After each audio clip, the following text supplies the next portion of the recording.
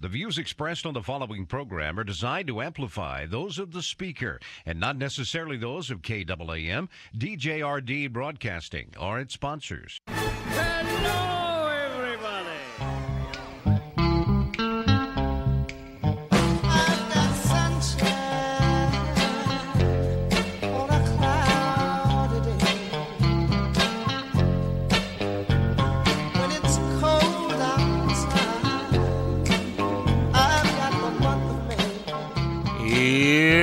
what's coming up on today's experience. Devotional Diamonds of the Day, also known as DDDs, where my daily devotions become some of our spiritual reflections. Sound effects placed throughout the show which have nothing to do with life, but the Bible teaches there's a time to laugh, and I'm sick of crying and I'm low on tissues. The review of the goofy news, which proves Jesus is coming back sooner than you think, Corn Pop, that's a cereal, not a gangster. Life lessons for our faith that we can actually use probably won't if we sit around and do a lot of absorbing instead of doing. Humor that will force you to think, why does this guy have a radio show?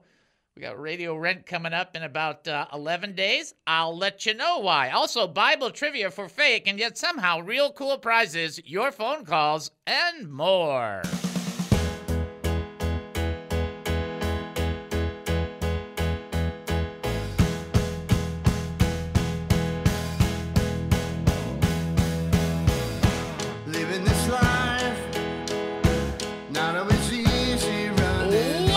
Welcome to the David Spoon Experience, local, national, and heavenly talk. My name is David Spoon. I will be your host for the next 5,400 seconds. Get ready for one of the more bizarre experiences on live radio. Here is the key to the show.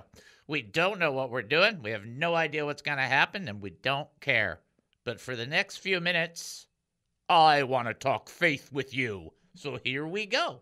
We're asking questions about living life as a Christian. We're really close to Father's Day, so I'll just bring this up. I'm talking about things like when God is growing up your kids and being more of a parent to them than you are, and you're watching it and you're seeing it, and you're proud that the Lord is working in their lives, and you're sad that you're kind of not the best parent in the world. That kind of stuff, that's what we're talking about. Hey, if you've got an opinion, a comment, a thought, or a question, that's an opinion, a comment, a thought, or a question. We want you to reach out to us. Not a kvetch fest, not a place just to complain, but you can ask questions. You can share praise reports. You can share prayer requests. We're going to be praying for one of our very own who's in the hospital, we found out. So we'll be praying in just a few minutes on that. But I want to make sure you know how to access us and how to be a part of it. It's not uh, something you have to sign up for. It's not something you have to send in your credit card for. It's not any of that. This is fellowship brothers and sisters in Christ, strengthening one another as we see the day of Jesus Christ, his return approaching faster and faster and faster. Here is the bottom line. Reach out to us, call 972 445 0770. That's 972 445 0770. When you call 972 445 0770, you'll end up talking to Captain Chris. Let me explain to you what that's like. That's like when you're working on something and you're like trying to figure it out and da da da, and then you get it. Oh, now I know what to do. That's what it's like when you're talking to Captain Chris, and then you will be.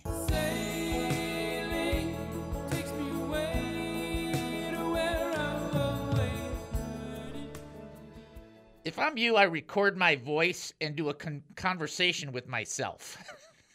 How you doing? I'm doing fine.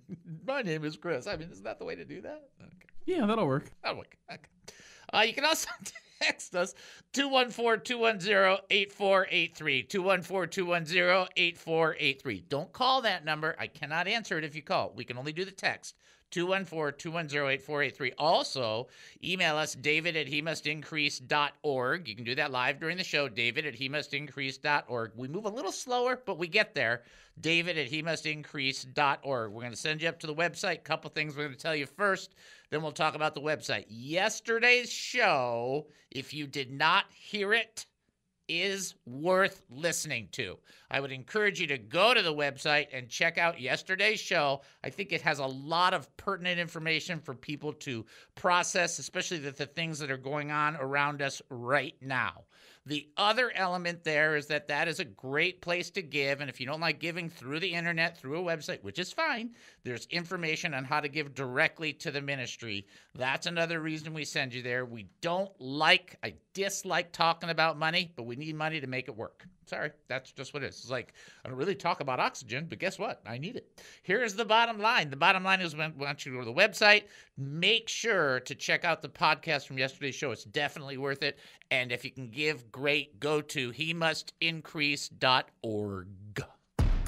Prayer request? HeMustIncrease.org. Praise report? HeMustIncrease.org. Looking to give to this ministry? HeMustIncrease.org. Confused by what's happening right now? HeMustIncrease.org. He must increase.org! And that's definitely a bowling ball crashing into pins, isn't it? I'm pretty sure that's a squeak toy. Okay, a squeak toy. That's a good one. Squeak toy.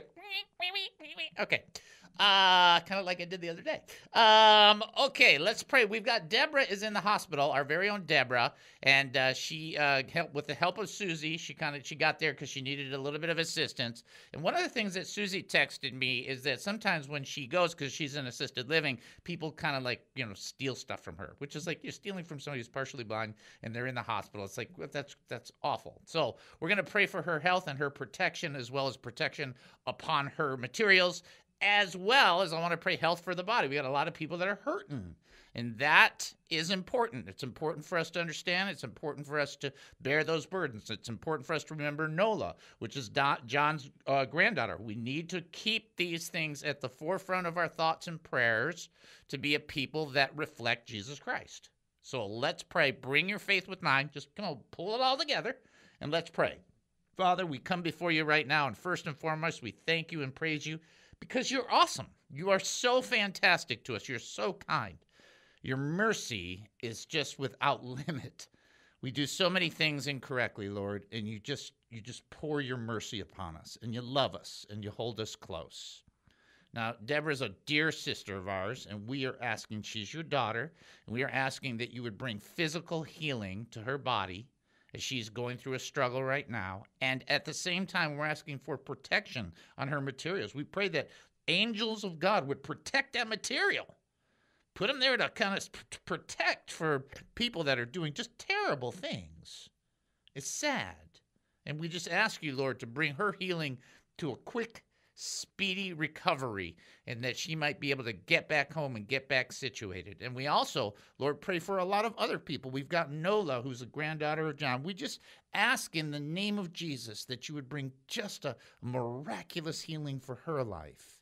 And we've got different brothers and different sisters who are hurting right now. People are having a lot of back pain. They're having a lot of different struggles. They're having diseases that they're fighting against. We are we are way undermatched alone. But in you and with you, there is nothing that can stop the deliverance and the grace and the power of God. And so we ask you, as your children, to pour out your power because nothing is impossible for you. Pour out your power into these people's lives, we pray. In Jesus' name, amen and amen. Okay, so we want to be praying for them, and it doesn't mean you have to go around all day and you know with your head down and you know looking for like you're looking for nickels on the ground or something. What it really means is that you're mindful and you're just thoughtful. And it's like, oh yeah, we got. Oh yeah, I want to pray for Nola. Oh yeah, I want to pray for Deborah. Yeah, that's the kind of thing we need to have happening amongst us. All right, let's get into the teach because believe it or not, uh, we, we, it's not something I want to teach. Uh, people appreciate that. We'll never make the times today, so just so you can know, just we'll just go with the flow. What else is new? Hebrews chapter seven, verse one, Melchizedek. Remember? So I'm going to pick it up actually from six.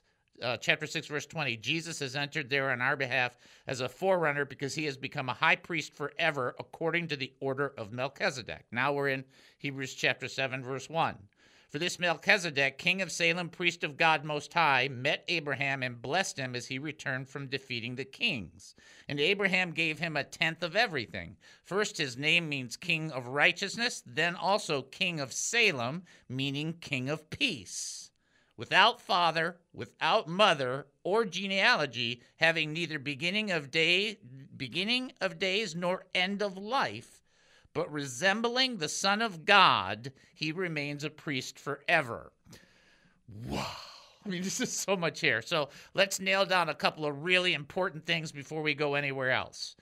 Abraham paid a tithe to Melchizedek.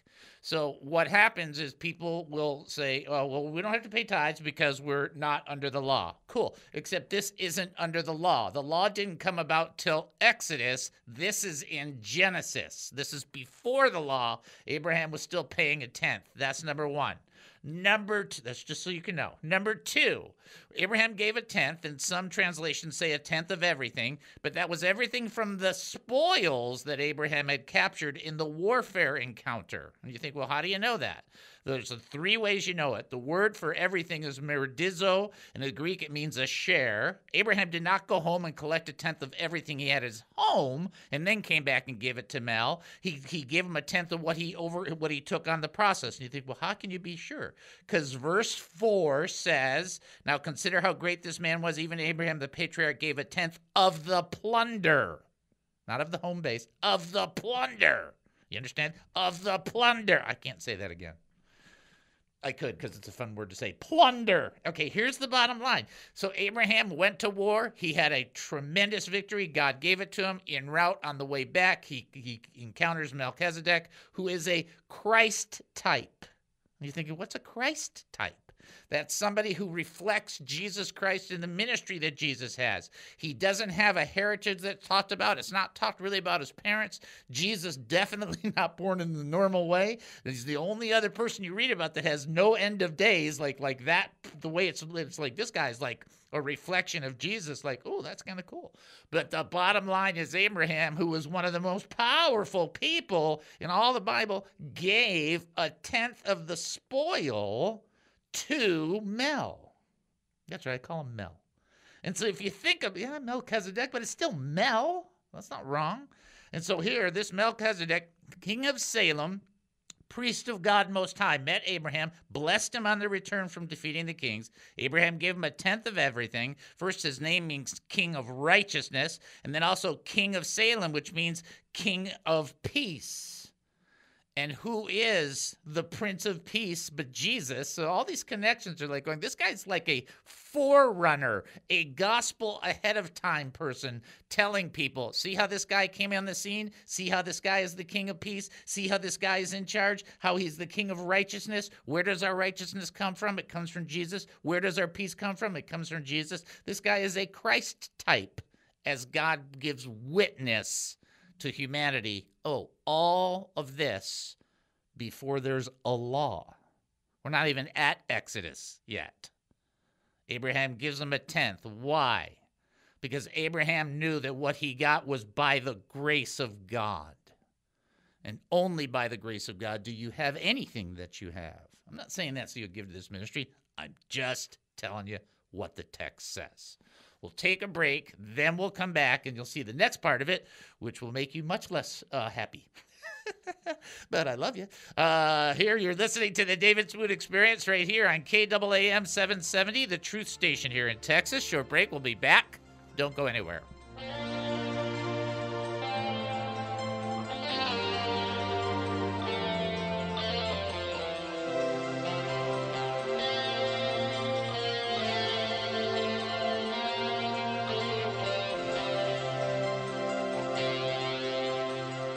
Is the David Spoon experience? Isaiah chapter 63, verse 8 through 9 says this He said, Surely they are my people, sons who will not be false to me. And so he became their savior. In all their distress, he too was distressed. So uh, I want to make sure you understand. We've talked about this before. You've heard some of my testimony. If you want to really get a better hand on my testimony, uh, I'll shamelessly plug the Broken for His Glory book, which contains the testimony, but you can get it for free if you do it through Kindle. And then otherwise, it's like seven bucks or something. That's not very much. Uh, it's a kind of a fascinating journey on becoming saved and then going through bad churches or a bad church and then coming back into good church right? That's not always easy to do. One of the big premises of the book and of my entire Christian journey is a passage like this, which says, He said, Surely they are my people, sons who will not be false to me. And so he became their savior. And in all their distress, he too was distressed. I think it's important for you and I to understand the level to which God has put himself or placed himself. He's not incomplete without us in the in the theological term that God can exist completely independently and doesn't need us, but he bears with us or connects to us in such a way that he feels with us. And so I think it's important for you and I to grasp that when Paul was on the road to Damascus, and then uh, the Lord appears to him, right? And we've talked about this before. You know, knocks him, you know, knocks him uh, off his donkey and blinds him. Okay, now you just have to imagine you're on a donkey, bammo, you're on the ground. Okay, okay, not on a comfy table or, or a comfy chair or a comfy bed, on the ground, and you're blind. so this is a real wake up call. And then Jesus says to him, Saul, before he becomes Paul, you know, you know, why are you persecuting me? And what does Paul say? Saul say, he says, who are you? right? Because this is like, you know, this is, you know, outer limits stuff right here. And then Jesus goes, I'm Jesus whom you're persecuting. Ah, but the irony behind that is that Jesus made the identification with the church because Saul was persecuting the church. But Jesus goes, I'm the one you're persecuting. Now see, see how he connects himself to the people.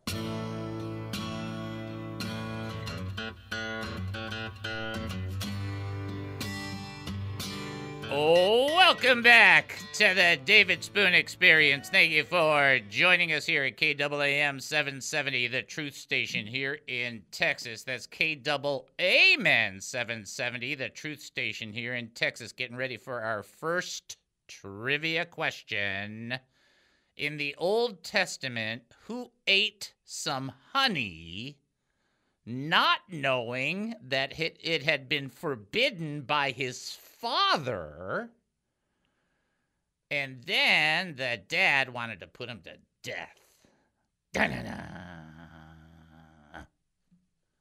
Just for eating some honey. Uh, if you think you know the answer, 972 445 0770. If you uh, want to text in, 214 210 8483. As well, if you want to send an email, David at he must. So we will be breaking, uh, doing a couple of breaking things. We're going to be praying, uh, just so you can know, for the U.S. and for Ukraine. We'll do that in the beginning part of next segment. And we're going to be praying for the audience. And one of the things I want to uh, pray for is frustration, because I know people are really feeling a lot of frustration. And there will be, we've told you about this before, and so we'll probably do this now because it's probably a good idea. Uh, there is uh, going to be, and I have found out this is absolutely a fact. So there's no question. You can call this prophetic and call it whatever you want. There is more news coming on Monday, Tuesday, and Wednesday of next week. Did you know that? How do you know? I have been informed by the powers that be. that Wow. There will be more news coming next week and even over the weekend, but next week for sure.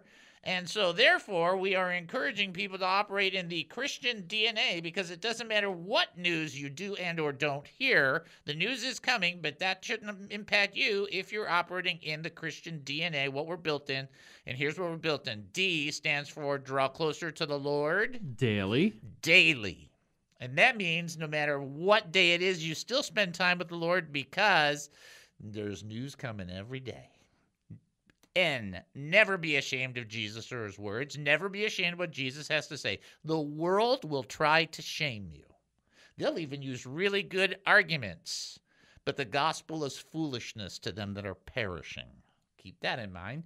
And then A, always be ready To serve. to serve, which puts you in the absolute best place of being aware of what the Father wants, aware of what the Holy Spirit is leading in, aware of what your opportunity to glorify Jesus exists in, and then focusing that on not an apple in a tree, but a person who can be blessed by you being a willing vessel. Okay? I don't know where apple in a tree came from. Oh, I had an apple this morning. That's why. Okay. Uh, okay, we will. That's come from somewhere. Uh, repeat the trivia question real quickly. In the Old Testament, who ate some honey, not knowing it had been forbidden by his father, hmm, and then his father uh, threatened to kill him? Ooh. Wowzer, Bowser. Who was that? If you think you know, 972 445 0770. You can also text in 214 210 8483 or send an email, David at hemustincrease.org. We are in this Melchizedek portion in Hebrews. Uh, we're not going to override on that. We're not just spend hours and hours and hours on the Melchizedek element. Mel, whom I like to call him Mel because it's easier than saying Melchizedek or Melchizedek, depending on if you live in a certain place in North Carolina. Uh, the bottom line to that is he is a representative, a Christ type that is shown in the gospel as a gospel witness, I'm sorry, in the beginning in Genesis to Abraham. Right? So Abraham pays him a tenth. So then you have people that are all like, uh, look, Abraham paid him a tenth of everything. Eh, wrong answer. Abraham paid him a tenth of the plunder. Let's just stay on track. Let's not try and make something uh, better or worse than it is. And then you get other people saying, well, see, you know, there's the tithe, uh, and the tithe is part of the law. Nope, this is before the law. The law came after. It's got nothing to do with the law. In fact, this is a great statement to say that 10% is uh, wonderful if you're going to give it. Great. It's not under the law. You are not under a legal obligation to give 10%. I know people tell you they are. That's wrong. This tell you right here. That's not what it is. It's supposed to be, let me just explain this real carefully. You are supposed to be an, oblig- uh, an obligation to reflect God as a giver. Now, after you get down to it, all the way down, uh, by the way, giving to the point of it being a sacrifice for you, which means it's not leftovers because you don't give leftovers to God. If we're being honest, you would probably prefer the law in regards to giving because the law has less requirements than God expects in the New Testament Christian who's a giver. It's just like, what? What? No, no. See, the law had very specific numbers, but in the New Testament, it's give and give sacrificially. And the only person that got massive praise was the woman who gave everything she had. It's like, uh oh. It's like if you look at the scriptures from the Old Testament to New Testament, you can pull out a number from the Old Testament and say, this is my percentage. Kind of like a tax. Actually, they used to have a temple tax, which is the same process. Remember, Jesus had to pay the temple tax with the fish and everything? Well, giving in the New Testament, it's more. What do you mean it's more, Dave? It doesn't have a specific number uh, obligation. It has a specific you be a giver and you reflect God in your giving obligation. So when you give, you just think of it in these terms. God's good for, I don't know, I guess 10%. it's like, what? That's not even very nice to think or say. Are you under a definitive obligation to give a specific amount? I don't believe that's New Testament or New Covenant uh, correctness. I believe that theology lacks. Okay? However, I believe the theology that does prevail is God expects you to reflect Him in your giving. That, my friends, that's the call.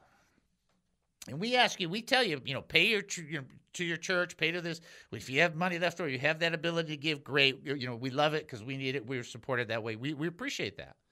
But this has got nothing to do with that. Your giving has to do with your stewardship between you and God.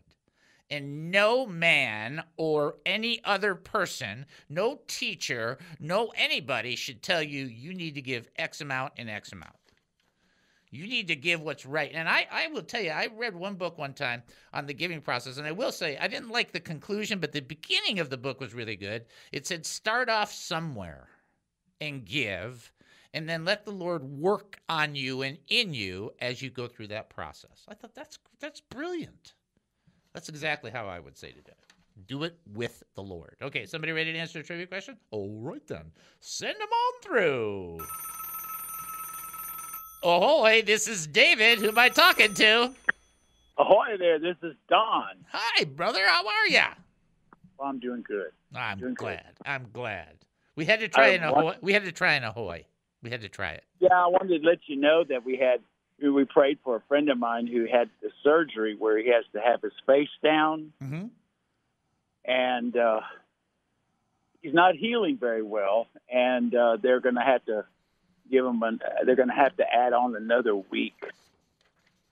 What's his his face What's his name? You, Charlie. Charlie. Charlie that Mack. was Charlie who we played for, right? Yes. All right, we're gonna pr- we're gonna pray for him again before we we might have to do that in the next hour, but we're gonna pray for him again. I understand. I Yeah, understand. yeah.